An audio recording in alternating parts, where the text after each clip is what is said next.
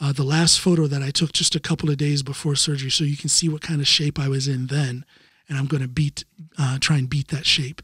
And again, already just in these last couple weeks, I can feel a difference because I have rather dramatically adjusted um, uh, my cal- caloric intake and the types of calories that I'm putting into my body.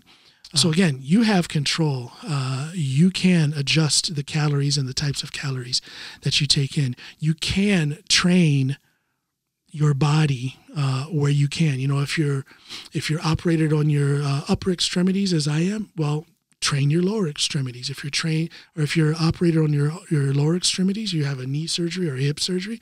I'm sure you're able to train your upper body in some way.